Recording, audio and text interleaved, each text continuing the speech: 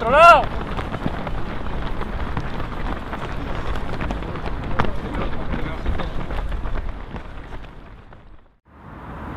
I have a lot of options today. Show jumping, hockey, and this half marathon. I wasn't planning on coming here. I, I, I went to bed thinking I would decide in the morning. Ended up waking up really early and, and decided to come. This is the half marathon, and in a couple of weeks, uh, the, the complete marathon. The difference is that the half, half marathon comes along this street on this elevated uh, overpass.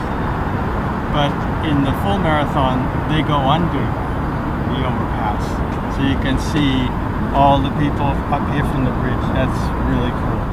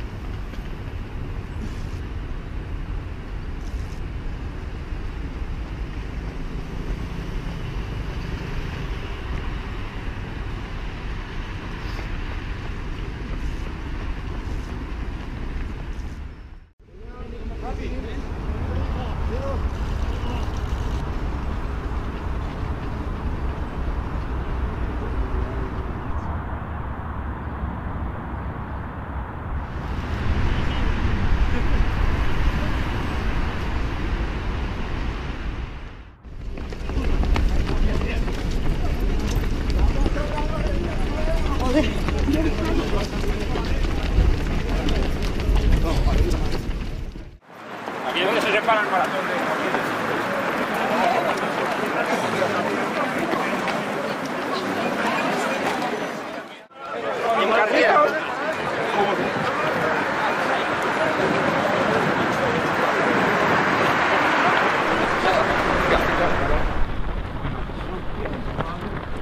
para otro lado.